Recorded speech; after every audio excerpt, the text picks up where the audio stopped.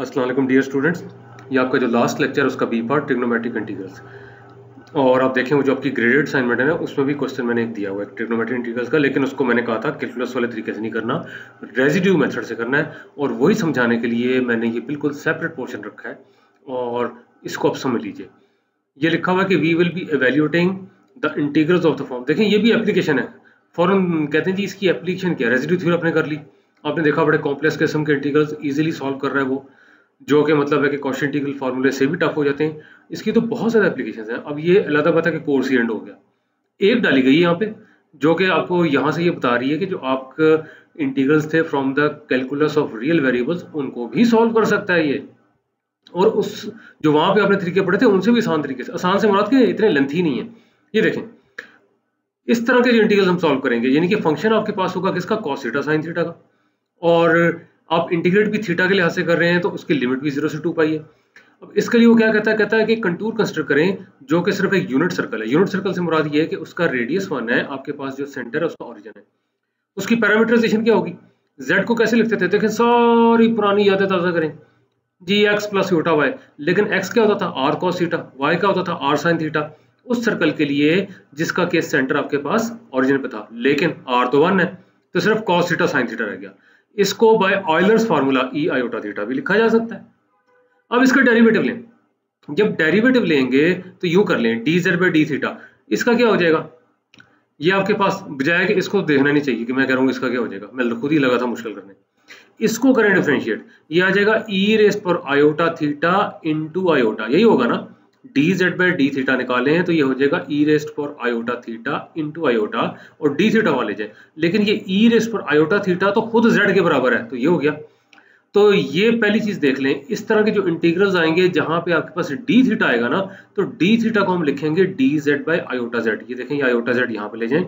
तो D theta आ जाएगा d z by iota z ये पहली चीज़। कॉस थीटा और साइन थीटा को भी जेड की फॉर्म में रिप्लेस करेंगे, वो भी कोई टफ नहीं है, ये देखें। Z तो पहले लिखा हुआ है cos of theta plus iota sine theta z raise to और माइनस वन क्या होगा?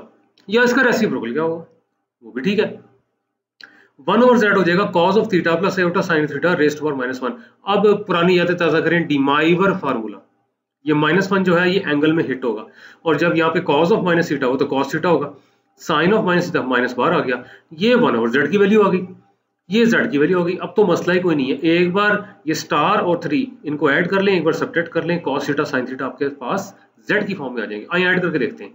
ये आ जाएगा z plus one over z यही आता है। Cos of theta plus cos of theta two cos of theta cos theta plus cos theta two cos theta ठीक है जी? तो यहाँ पे देख लें। Iota sine theta minus iota sine theta और यहाँ पे देख लें। तो कैंसिल हो जाएगा। इसी तरह से यहाँ पे देख लें। Z minus one over z ठीक हो गया ये? क्या होगा? आयोटा साइन थीटा और minus of minus iota sine theta यानी कि iota sine theta plus iota sine theta two iota sine theta cos और कॉस खत्म हो जाएँगे। ये चीज़ें आ गई। यहाँ से कॉस थीटा क्या आ जाएगा? वन ओवर टू वन ले जाए। साइन थीटा क्या आ जाएगा? One over two iota one ले जाए। उससे कॉस और साइन भी आ जाएँगे। तो जब भी आपके पास इस तरह का इंटीग्रल आएगा कॉस थीटा अगर बीच में होगा, इससे रिप्लेस करेंगे। One over two times Z plus one over Z sine theta आएगा, इससे रिप्लेस करेंगे। One over two iota times Z minus one over Z D theta आएगा, किससे रिप्लेस करेंगे? D Z by iota Z अब question सारा रह गया सारा जेड में तो जा घुसा है। तो क्या लिमिट का क्या करेंगे? यही तो असल चीज़ है। यहाँ पे आएगी रेजिड्यू थ्योरी ये ले जी कॉस थीटा आ गया। ये तो बता दिया मैंने one over two times Z plus one over Z sine theta भी आ गया। One over two iota Z minus one over Z अब जरा इसको देखें। ये इंटीग्रल था, इसमें चला गया। अब ये कंटूर पे जाएगा। लेकिन पहले ये समझ लें, ये एफ़ ऑफ़ जेड क्या चीज़ है? यहाँ कैपिटल एफ़ यहाँ छोटा है चक्कर की है भाई। चक्कर ये है कि जो कैपिटल एफ़ है ना, उसी को ही इस तरह से लिखा हुआ है, लेकिन कैपिटल एफ़ के साथ कुछ और भी है। कॉस थीटा यहाँ पे देख लें, किससे रिप्लेस हुआ है? One over two Z plus one over Z ये लिखा हुआ है। साइन थीटा किससे रिप्लेस हुआ one over two iota Z minus one over Z ये लिखा हुआ है। और यहाँ तक काफ़ी नहीं था, यहाँ तक काफ़ी नहीं था, यहाँ पे डी थीटा साहब भी थे। और ये अब पिछली सेट पे देख लीजिएगा डी थीटा था D Z by iota Z D Z तो यहाँ पे नज़र आ रहा है आयोटा जेड नहीं ना नज़र आ रहा, यहाँ बैठा हुआ है। भागा गई नहीं है। तो ये स्मॉल एफ़ ऑफ़ जेड है, ये सारे का सारा ये है। ठीक है, इस तरह से जेड में कन्वर्ट करेंगे। अब रहेगी ये कंटूर ये तो यूनिट सर्कल है। तो अब यहाँ पे आप रेजिड्यू थ्योरम लगा सकते हैं। वो क्या था? ये नीचे लिखा हुआ है। वो कहता है जी कि फ्रॉम ये जो भी लिखा है फ्रॉम टू एंड फोर ये सारा बताया हुआ है। तो ये जो चीज़ आपके पास आ रही है सपोज़ करें एफ़ ऑफ़ जेड कहता है एनालिटिक है सर्कल के ऊपर भी सर्कल के अंदर भी। Except at Z one Z two Z N ये वो वाले पॉइंट्स है यूनिट सर्कल के अंदर है। That like interior to see अगर आउटसाइड हो जाते, फिर तो आंसर ही ज़ीरो हो जाना था इसका। इसकी बात करो। अगर सर्कल के ऊपर हो, मैंने कहा था वो फ़िलहाल आपके कोर्स का हिस्सा नहीं, होते हैं वो भी। वो कोर्स का हिस्सा नहीं है। लेकिन ये वो सारे पॉइंट्स हैं यूनिट सर्कल के अंदर है। तो फिर देखें, ये वाला इंटीग्रल ये बना तो बन के गया। ये बन गया two pi iota into sum of the residues और रेजिड्यूज सपोज़ एन रेजिड्यूज हैं। लेकिन यहाँ पे आप देख लें, ये सारी ये पोल्स है ना Z one Z two Z N ये सारे यूनिट सर्कल के अंदर है। तो मेरा ख्याल है, अगर आपने पिछले लेक्चर तक किया तो इतना ये मसला नहीं है। अब एक क्वेश्चन भी मैं करके दिखा देता हूँ ताकि आपको मजीद क्लियर हो जाए।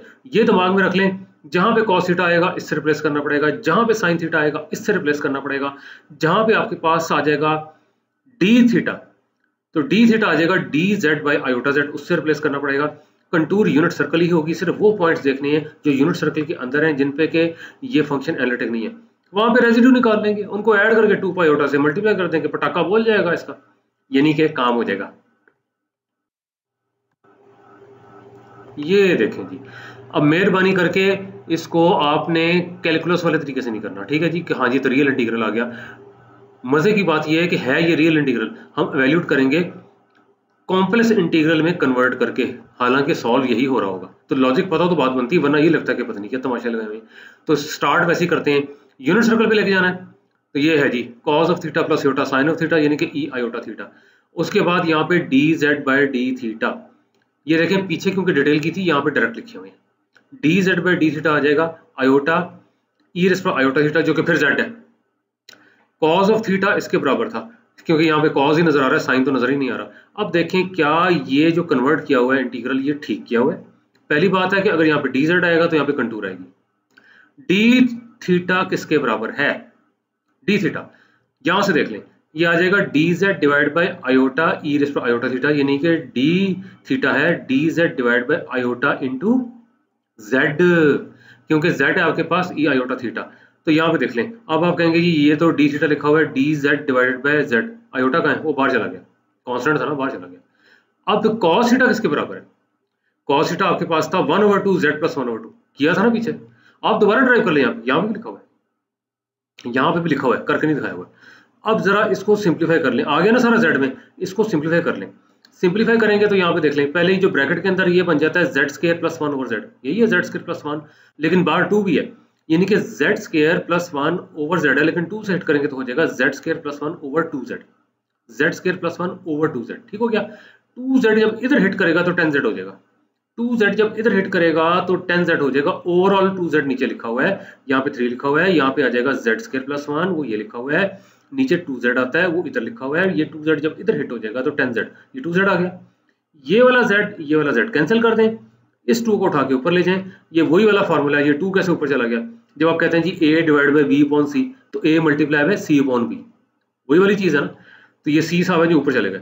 अब देख लें, अब ये शक्ल बन गई है, अब तो कोई मसला नहीं, अब तो आप कहेंगे कि ये तो वही उसी तरह की प्रॉब्लम बन गई जो हमने पहले की हुई थी। वैसे बन गई ना? बस इसमें यह है कि कंटूर आपके पास यूनिट सर्कल है। ये फ़ंक्शन आपके पास आ गया। एक चीज़ का ध्यान रखें, अगली स्लाइड पे शायद इंटीग्रल नहीं लिखा हुआ, वन ओवर आयोटा बाहर आएगा। ये एफ़ ऑफ़ जेड में आपके पास में ना आयोटा जो वन ओवर आयोटा ये एफ़ ऑफ़ जेड में नहीं आ रहा, वो अंदर वाला, ठीक है? अब सबसे पहले तो हम ये देखेंगे कि इसके क्या है पोल्स इसको पहले आपको क्या करना पड़ेगा? फैक्टराइज कैसे करते हैं? इस थ्री को, इस थ्री सेट करते हैं नाइन अब हमने देखना है जी कि क्या हालात पैदा करें, ये जो आपके पास अंदर नंबर लिखा हुआ है। दो नंबर जैसे पकड़े कि मतलब है कि आपके पास ऐड कर लें तो आपके पास टेन आ जाए ठीक है जी ऐड कर लें तो टेन आ जाए मल्टीप्लाई करें तो नाइन आ जाए कौन सा होगा nine and one nine and one इसको लिख सकते हैं three Z square plus nine Z plus Z plus three three Z square plus nine Z plus Z plus three अब बेशक थ्री जेड कॉमन ले लें तो शुरू में जेड प्लस थ्री कॉमन आ जाएगा आगे जेड प्लस थ्री था उसमें से वन कॉमन ले लें वो भी जेड प्लस थ्री आ जाएगा तो three Z plus one into Z plus three पहले दो टर्म में क्या थी three Z square plus nine Z वहाँ से थ्री जेड कॉमन लिया था तो जेड प्लस थ्री आ जाएगा अगली दो टर्म में क्या थी? Z plus three one common ले रहे हैं, वो भी z प्लस थ्री आ जाएगा। तो three Z plus one into Z plus three अब जब इनको इक्वल टू ज़ीरो करेंगे, तब दो पॉइंट्स आएँगे। हमने वो वाले पिक करने हैं जो यूनिट सर्कल के अंदर है। अगली स्लाइड पे चलते हैं। ये लें ये फ़ंक्शन था, ये हो गया। अब देख लें, जब इसको मैं ज़ीरो करता हूँ थ्री जेड प्लस वन को इक्वल टू ज़ीरो करता हूँ तो थ्री जेड माइनस वन आ जाता है जेड आ जाता है minus one point three minus one point three तो यूनिट सर्कल के अंदर है। इसकी absolute value one over three है वन से छोटी है। हाँ इसको अगर मैं ज़ीरो करता हूँ तो जेड आ जाता है माइनस थ्री वैसे ही पता होना चाहिए तो वैसे ही बाहर है यूनिट सर्कल से। वैसे भी इसकी एब्सोल्यूट वैल्यू माइनस थ्री की थ्री वन से बड़ा है। तो ये वाला है तो आपने जो रेजिड्यू निकालना है ना माइनस वन पॉइंट थ्री पे निकालना है। माइनस थ्री पे नहीं निकालना। और अगर ये भी बाहर होता तो इंटीग्रल हो जाना था zero by Cauchy Goursat through अब तो टिप्स पे होना चाहिए। ये आपके पास है लाइज इनसाइड दिस और जेड माइनस थ्री जो है लाइज आउटसाइड दिस अब आपने रेजिड्यू निकालना फ़ंक्शन का माइनस वन पॉइंट थ्री पे, और यहाँ पे देख लें पावर क्योंकि यहाँ पे वन है, इसलिए ये आपके पास जो पोल बनती है ना ऑर्डर वन की बनती है। निकालना कैसे? क्या फार्मूला था? आपने ऐसे कहा था लिमिट z को टू z मैं लिमिट जो है वो फार्मूला कॉल करूँ। यहाँ पे f होता था, यहाँ पे z नॉट होता था, जब सिंपल पोल थी, यहाँ z goes to z naught था, z नॉट आपके पास माइनस वन पॉइंट थ्री है, इसलिए यहाँ माइनस वन पॉइंट थ्री है, यहाँ minus one point three z minus z naught था। तो यहाँ पे देख लें, z minus of minus one point three Z plus one point three हो गया, यहाँ एफ़ ऑफ़ जेड आ गया। अब इसको तो जरा भूल जाए, इसको भूल जाएँ, लेकिन भूलने से पहले जरा इसको एडजस्ट कर लें थ्री को बाहर निकालें, ताकि ये z plus one over three हो जाए। देखें, इस थ्री को बाहर निकाल लें, ताकि z plus one over three हो जाए। अब ये tends to minus one over three है equal to minus one over three नहीं है, ये तो हो जाएगा जी कैंसिल इतना रह गया two point three Z plus three अब इसमें वैल्यूज़ सब्सिट्यूट कर दें, या ये कहने लिमिट पुट कर दें। जेड को माइनस वन पॉइंट थ्री कर दें लिमिट की वैल्यू आ जाएगी three minus one over three क्या होती है?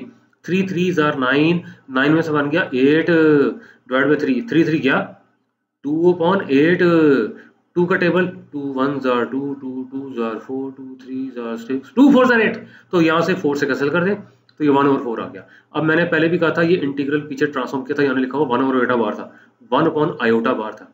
आगे क्या था? आगे था आगे था two pi iota into sum of residue ही एक आया है उसी को लिखते हैं one upon four iota iota cancel two pi by four which is pi by two यही प्रूव करना था। तो उम्मीद है कि ये इंटरेस्टिंग लगा होगा, ये आसान लगा होगा। बेशक फ़र्स्ट टाइम है, लेकिन ये देख लें, ये कैलकुलस वाले तरीके से तो आसान है। कोई भी इस तरह का ट्रिग्नोमेट्रिक इंटीग्रल इस मेथड से सॉल्व हो जाएगा। तो ये चीज़ हो गई, और यहाँ पे लिखा हुआ है कि z equal to minus one point three ये सिंपल पोल है, जिसमें ये फॉर्मूला ये मैं पढ़ना भूल गया था, यहाँ पे लिखा हुआ है। तो ये चीज़ आ गई आपके पास? आगे क्या, आगे है कुछ? मुक गया मुक गया। चलो फिर। सलामकुम लॉजिकट है कॉम्प्लेक्स एनालिसिस क्लास उम्मीद है कि आपको ये कोर्स अच्छा लगा होगा। और देखें, आप सारे के सारे जो हैं रिप्रेजेंटेटिव हैं इस कोर्स के अनहैप्पीली इस कोर्स के बारे में बहुत मशहूर किया हुआ है। बड़ा मुश्किल है, ये है, वो है। और मशहूर वही करते हैं जो खुद काम नहीं करते और कुछ समझने की कोशिश नहीं करते। ठीक है? तो इसको कहीं आपने रटा नहीं लगाना। अभी ये बेशक कोर्स खत्म हो गया है, आप लास्ट असाइनमेंट भी देने वाले हैं। महिला आपकी डेडलाइन अभी मौजूद है ट्वेंटी फिफ्थ ऑफ़ जून तक दे दें। और लेकिन उसके बाद भी मैं नहीं चाहता कि ये कोर्स आपको भूल जाए। ठीक है जी? तो इनशाला किसी और कोर्स में मुलाकात होगी। अल्लाह हाफिज़।